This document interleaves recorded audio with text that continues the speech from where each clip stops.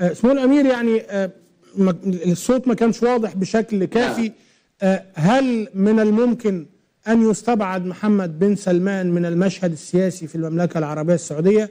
هل سيقوم الأمير أحمد بن عبد العزيز بهيكلة الأسرة السعودية مرة أخرى وستحضر أو تكون فرضية استبعاد محمد بن سلمان حاضرة أم محمد بن سلمان باقي في كل الأحوال؟ آه، يعني موضوع بقاء محمد بن سلمان أنا يعني آه، على خلاف إني من الأسرة وعلى على دراستي اللي درستها وعلى حسب متابعاتي يعني للقضايا بصفة عامة إنه مستحيل إنه يكون في السلطة يعني.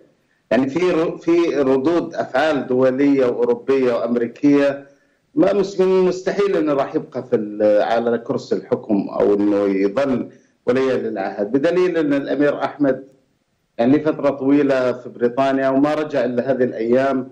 ل- في لخبطة في ال في ال في البيت السعودي من الداخل. هو رجع يرتب الأمور شوي.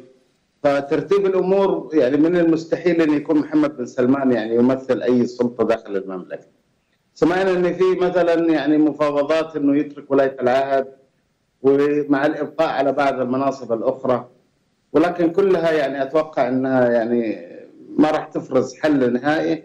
وعقلية الملك سلمان يعني سيكولوجيه الملك سلمان هو شخصيه يعني صراحة تكبرية عنيده بدرجة كبيرة وفيها عنف. فشخصيته ما أنا ما أتوقع إنه راح يسمح مثلا إن العائلة الحاكمة يعني يسمح لهم إنه يبدوا ارائهم إنه يعني يزيحوا ابنه محمد بن سلمان من ولايه العهد. راح يصر على البقاء.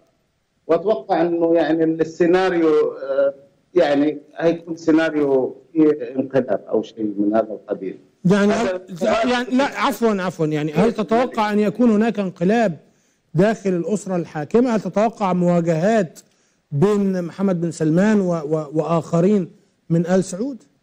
ما هي يا أستاذنا يعني مش مواجهات مش قصدي انقلاب مسلح لا آه. طبعا ويعني أول شيء اللي بيحمي محمد بن سلمان آه، شركة يعني شركة أمن أوروبية. آه، يعني ما عنده ما عنده يعني ال- آه، الثقه في إنه تحميه أجهزة الأمن السعودية. لو الأمير أحمد بن عبد العزيز بس اجتمع مع بعض أفراد من الأسرة الحاكمة من أبناء وأحفاد الملك المؤسس وبايعوه بينهم راح تلتف الأسرة الحاكمة كلها في نفس الوقت. أنا متأكد من الشيء هذا. ولو آه، التفت الأسرة حول الأمير أحمد ووصلوا لبيت الملك ما هيحصلوا أي مقاومة لأن آه، الجيش والشرطة والحرس الوطني أنا أعرف إنه يعني في عدم رضا عن الحكم الحالي. سمو الأمير حضرتك قبل كده قلت الأمير. لشركه الشركة آه. يعني الشركة ال- ال- الشركة اللي تحمي الأمير محمد ما راح تقاوم يعني أجهزة الأمن الوطنية ببلدها يعني. ما تقدر عليهم. ثاني شيء راح يجي لهم أمر من من يعني هو اصله من أوروبا يعني أو من بريطانيا بالتحديد. هيجي لهم أمر ما في أي داعي للمقاومة ومنتهى السهوله يعني. أنا أشوف هذا السيناريو هو العملي الشيء اللي على أرض الواقع مستقبليا مستقبل قريب يعني.